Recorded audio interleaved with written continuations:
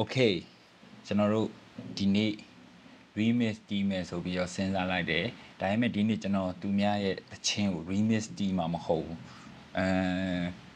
ထူးထူးဆန်းဆန်းလေးဖြစ်တော့အတန်တစ်ခုခုကိုရှာမယ်အဲရလာတဲ့အတန်ကိုကျွန်တော်တီးလုံးတစ်ပုတ်ဖြစ်အောင်ပြန်ပြီးတော့တီးမှာဖြစ်ပါတယ် okay ဘာလေးတီးရင်ကောင်းအောင်လဲဆိုတော့ကျွန်တော်တစ်ချက်ရှာကြည့်လိုက်အောင်မယ် okay ကပချီနိုတက်ခွတ်အခါချော့ပေးချိုချိုလေး ဒီမှာမတောက်ဘူးအေယူသွားမှာတီလာတီလာ โอเคကျွန်တော်ခုဒီနေ့ကတော့ကွာစာရဲ့ဗီဒီယိုတွေတည်းကသူ့ရဲ့အတန်ကိုယူပြီးတော့အဲတချင်းတစ်ပုတ်ဖြစ်အောင်ပြန်တီးမယ်ပေါ့โอเคအဲ့ဒါကိုကျွန်တော်ဘယ်လိုတီးမလဲဆိုတာကိုတစ်ချက်လောက်ကြည့်လိုက်ရအောင်